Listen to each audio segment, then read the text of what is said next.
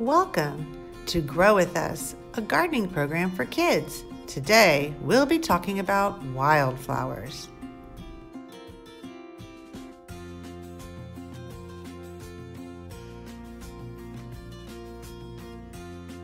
Spring is wildflower season in Texas. You can find fields blooming in a rainbow of color and go in search of the ever popular bluebonnets. Let's learn about wildflowers. What is a wildflower? Wildflowers grow by themselves.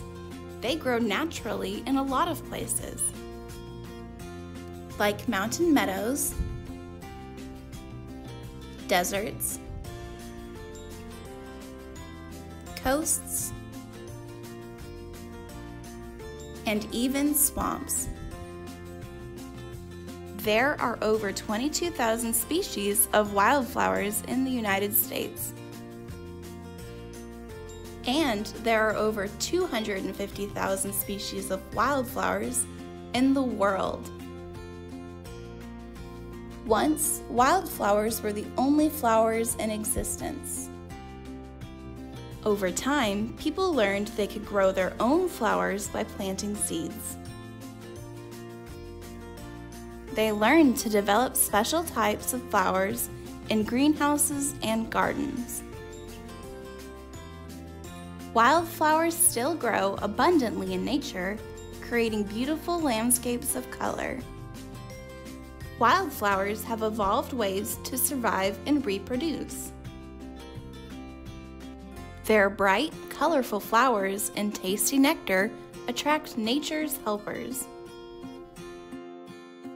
Wildflowers depend on pollinators like bees, birds, butterflies, and many other animals to transport pollen from blossom to blossom. Pollinated blossoms produce more seeds which help the wildflowers bloom again the next year. Now let's learn about some wildflowers that grow in Texas. There are over 5,000 species of wildflowers in Texas. Let's take a look at a few of them. One of the most well-known is the Texas bluebonnet. It is the state flower of Texas. There is also the very beautiful paintbrush. The fire wheel shows off with blossoms that burst with color. Butterfly weed. Butterfly weed is a species of milkweed. It is commonly known as butterfly weed because the butterflies are attracted to its colors and all the nectar that it produces. Texas is home to about 20 species of prickly pear cactus that can be found from East Texas to West. Take a drive this spring with your family and enjoy all the beautiful colors along the back roads of Texas. One person you can thank for that is Lady Bird Johnson, who was First Lady when her husband, Lyndon Baines Johnson, was president in the 1960s.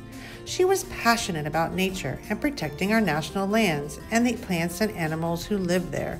She was instrumental in the passage of the Highway Beautification Act in 1965.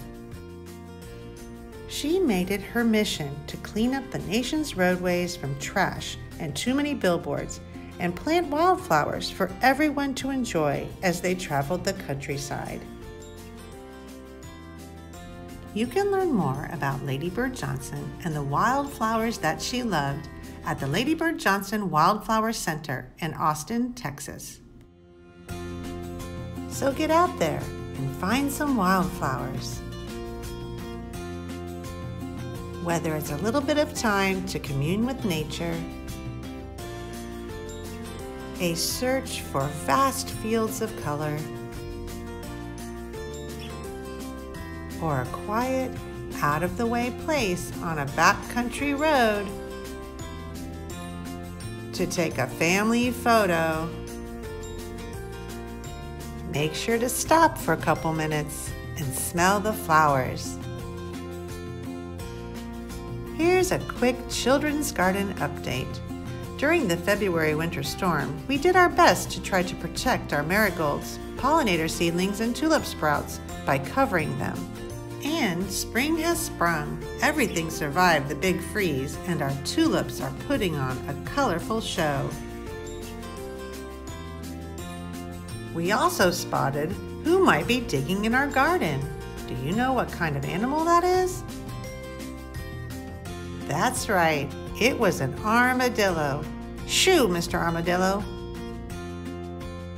If you'd like to learn more about Lady Bird Johnson and wildflowers, check out these books, which are available for checkout at www.hcpl.net. Thanks for watching, and we hope to see you next time in the garden.